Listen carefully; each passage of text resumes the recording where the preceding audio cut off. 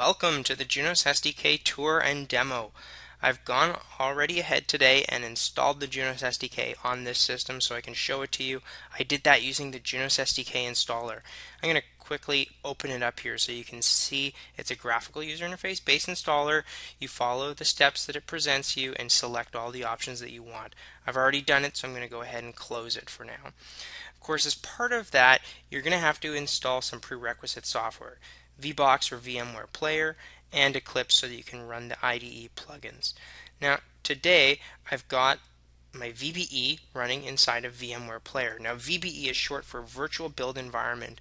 My VBE is basically a FreeBSD machine. It's virtually running inside of this VMware Player instance as an image of that operating system, very similar to Juniper's own Junos build machines. FreeBSD 7.1 allows you to build all of your Junos SDK applications. I'm going to go ahead and minimize this because I don't actually need to work with that interface. As of 2011, you can work with a graphical interface in Eclipse because we've got Eclipse plugins. So going to go ahead now and open up Eclipse. Okay, bringing up Eclipse, you can see that this is my Junos SDK perspective. You can always select the perspective right here if you wanted to. You can see I've got Junos SDK. I can actually reset it it shows you what it looks like by default. And you got this browser open up to the Junos SDK juniper.net slash developer webpage over here. I'm going to go ahead and close it like I had it before just so I have a little bit more real estate. Over here's the Sandbox Explorer on the left which is initially empty because I don't have any sandboxes. Now development sandbox projects are exactly how you build applications. Those are the context for your application code. To create one, you can use the button on the toolbar, step one of four in our workflow. Create a Junos SDK project. Asks you for the virtual build environment or VBE credentials. They're populated for me already. I'm going to go ahead and hit next and select to create one of the new development sandbox projects. Now, what it's going to ask you for here is to select a version of the Junos SDK. I've got several installed on my VBE today, so I'm going to select 11.1. Next, I'm going to select any applications these are sample applications that is that I want installed in my application project already. If you don't, you don't have any code to start from. I'm going to use JNX example today and I'm going to leave demo as the name of my development sandbox project. Go ahead and create that by hitting finish and over on the left in my sandbox explorer I now see demo showing up. Inside of there I got 11.1 this is my backing sandbox, or in other words, API set in there. And in the source tree, well, that's where all my application source code is going to reside. Specifically, you're probably going to work mostly on programs and user interface extensions and a few things related to a package. I'm going to show you the program code today, which is under SBIN, and my program is called JNX example D, ends with a D because it's a daemon, runs as a background process you got some C and .h files under there. Let me open up one of the .c files to show you some more features of the IDE user interface here. Scroll down to maybe some Junos SDK APIs like this one right here, and the first thing you notice as I mouse over it is that it brings up a tooltip. And I can scroll through this information in the tooltip. That's the same information that you'd find in the HTML documentation for the SDK. If I hold down control and mouse over an API, you can actually see that it highlights it for me, just kind of like a link on a web page. And if I click on that, well, it takes me to the API. And the way that it takes me to it is it opens up a new tab with that file that contains that. It's, in this case, Junos kcom.h, and that's inside of the 11.1 directory, which I had there. Now I'm going to close that down because I'm not going to show you any more of the API information there. Let me show you one more feature that you might take advantage of while you're coding. Let's say that you're writing um, some code, you're writing let's say Junos underscore kcom, but you can't remember the rest of the API function name. Well, no worries. Hold down control and hit space and it brings up something called a context sensitive help menu for you. You've got all of these different things in here. You can have it tell you what the rest of the function name is and even tell you what the parameters should be for it. Of course, you can jump to the documentation for that like I just showed you as well. Now, since this is a sample application, I'm not going to do any coding because everything's already done for me. So I'm not going to save any of those changes. I'm going to go on to step two of my workflow. For that, I need to build this. Of course, you got an application, you got some code, you got to build it to run it. I'm going to select the build configuration to show you this little wizard that shows up and I'm going to only build for the MTMX series or in other words specifically the i386 architecture. I'm going to be installing it on an M series today so that's the only one that makes sense. Alright, so while this is building what it's going to do is it's going to create some object directories where my binaries are going to reside and those are all going to be under this same project. There they are, they just showed up obj-i386. Under there you got sbin and then the program name JNX example D. There's my binary right there for example. Alright, so you can't actually run the binaries on this system natively. I'm running Windows today. You could also be running this on a Mac or Linux. You can't run your programs that are intended to run on Junos on those systems. You can't run them in the virtual build environment neither. You need to run them in actually Junos. Surprise, surprise, they're Junos applications. You need to run them in Junos. It kind of makes sense. all right, so how do we actually get those applications running in Junos? Well, all Junos applications are delivered via Junos packages, and my sample application has a package for this. Of course, the package is called JNX example, and it's going to be installed on that target architecture, so I'm going to go ahead and hit finish. As this packages up, it's going to create yet another directory called ship, and that's where my package file will be. It's a .tgz file. You can actually see in the window down here in the console that it generated it. There's the file right there. Now, I can actually take this file and copy it to a router and uh, I can do that. There's no problem. If I was a system administrator, uh, I would probably get this file from the developer and go off and install it separately. Now if you're a developer, what you could do is you could come on to phase 4 of your workflow and hit this button right here, copy files to router, and have it copied or maybe even by checking this box, installed directly on a router. I won't install it on a router, I'll do that separately. Let me go ahead and select the file and hit finish and this is going to copy it to the router so that it's ready to be installed when I meet you on the router and meet you in the CLI specifically for it. Alright. Here I am on the CLI and I've got show version. What's that? Well basically that's just showing you that I've got a standard Junos load on here, 11.1.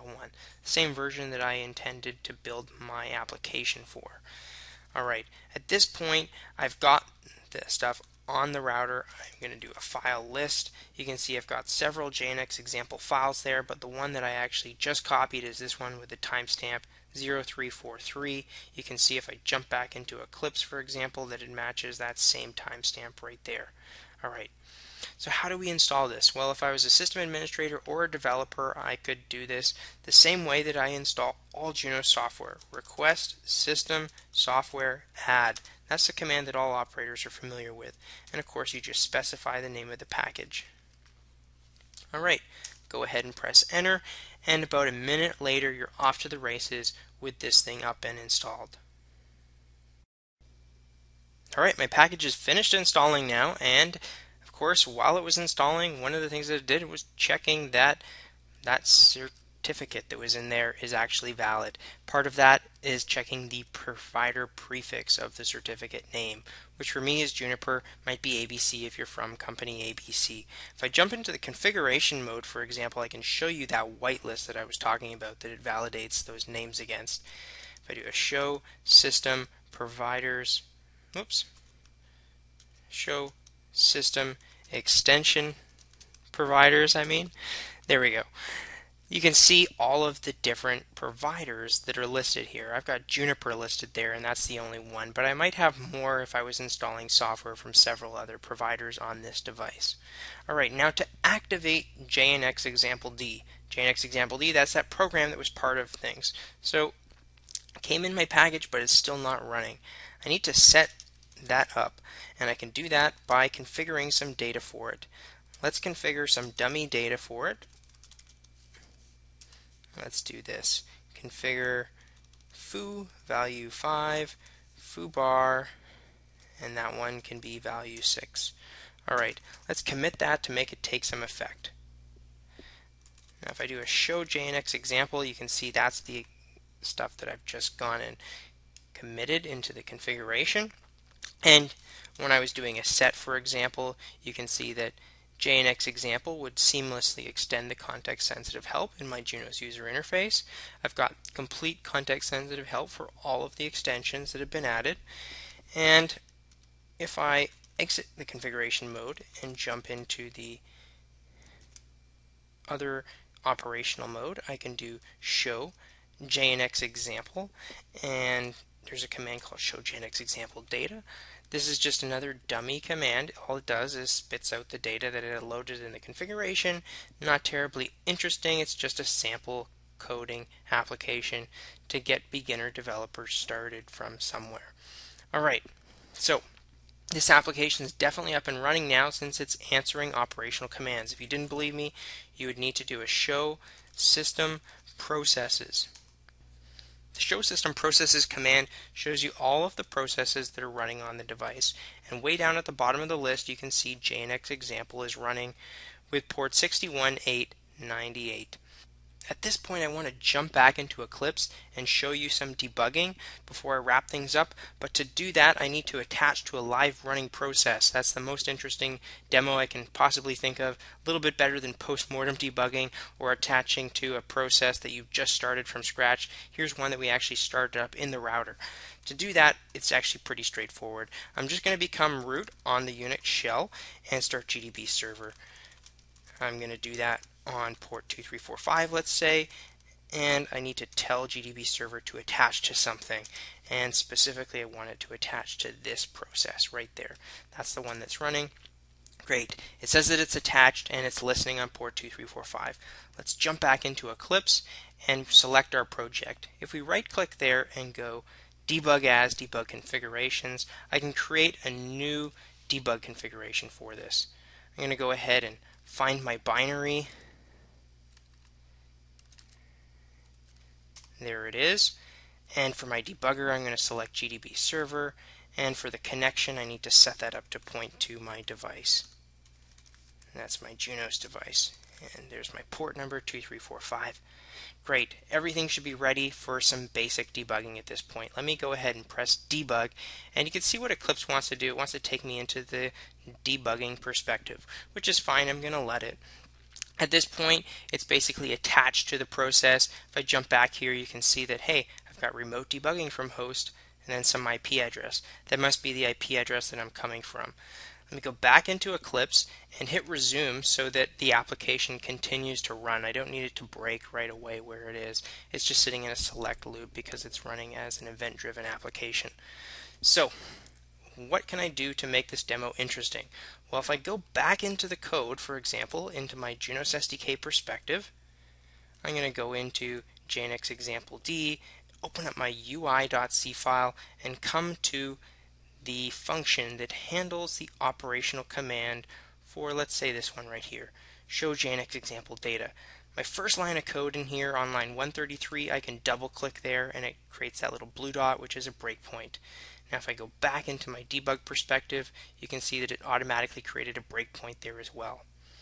So at this point, I can actually try to issue the show JNX example data command and it should break there. Now I can't do it from this window because as you can see, look at this, well I'm already running GDB server. So what I need to do is open up a second window into the device. So if I'm opening up a second window, I can just bring that up here on top of the other one.